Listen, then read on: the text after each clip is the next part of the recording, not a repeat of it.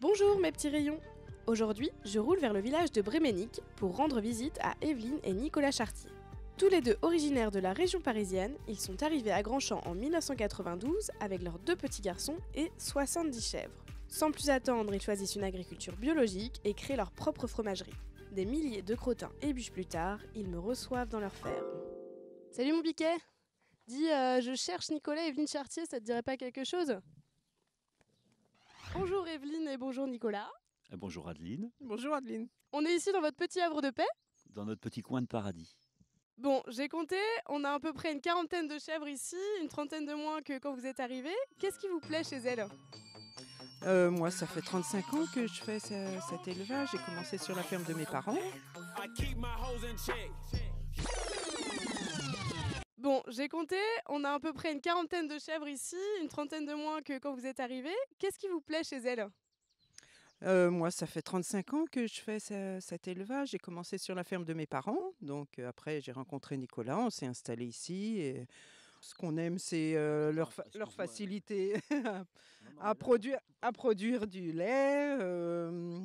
Et puis, euh, c'est un animal qui est assez facile à manipuler. Elles sont très, euh, très attachantes, en fait. hein.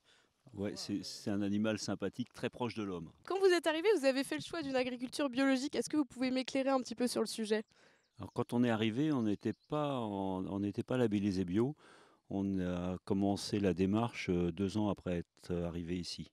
Alors le bio, c'est sans traitement euh, chimique ni de synthèse en fait. hein. donc, donc on n'utilise euh, rien euh, pour traiter. Pas de désherbage, euh, voilà. J'ai lu euh, récemment un article qui disait qu'il y avait encore des agriculteurs heureux. Est-ce que vous vous sentez concerné? Bah, je pense que les agriculteurs heureux, il y en a plein partout, dans tous les milieux. Après, c'est la conjoncture qui fait que. Mais il n'y a pas de métier aujourd'hui où euh, il y a des périodes creuses et des périodes moins creuses. Euh, voilà, je pense que le paysan fait partie du lot. Et puis, euh, voilà. Est-ce que vous vous sentez euh, heureux, libre dans ce que vous faites, vous? Oui, oui, oui, ça, on a beaucoup de liberté. euh, on choisit de s'arrêter si on veut. Bon, là, peut-être le gros problème, c'est de ne pas pouvoir partir en vacances euh, facilement. Bon, le, le remplacement est toujours euh, difficile. Mais euh, si, on est heureux. On a- il faut se le créer, son bonheur aussi. On a pu élever nos enfants proches de nous. Voilà. Bon, je pense qu'on n'a on n'a pas à se plaindre par rapport à d'autres euh, d'autres agriculteurs qui sont vraiment en difficulté. Et, et on les comprend aussi. hein. Est-ce que vous pouvez me raconter une journée type euh, de vous avec vos chèvres? Alors, euh, c'est pas compliqué. On se lève le matin, comme tout le monde. Euh, on commence par traire les chèvres. Et puis après, on prend notre petit déjeuner. Et après, on retourne en fromagerie pour euh, travailler le lait.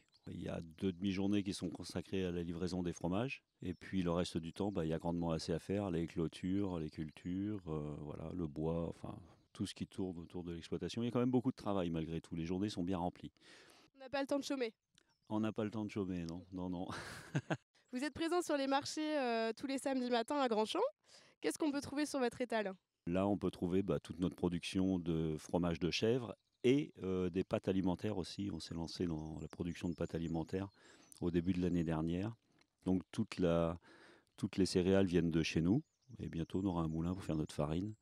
Donc on aura bouclé la boucle. Et les, le son et tout ça, tout est restitué au chef. Donc en fait, toute la production est valorisée. Il n'y a rien de perdu.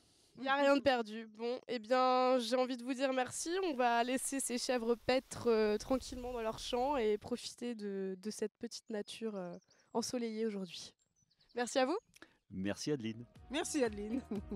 Je vous invite à retrouver les produits d'Evelyne et Nicolas sur le marché à Grandchamp, mais également au magasin Les Producteurs du Coin à Vannes et dans les supermarchés alentours. De mon côté, je vais me faire un petit caprice et déguster le fromage alléchant qu'ils m'ont offert. J'espère que ça ne vous rend pas trop chèvre. À bientôt mes petits rayons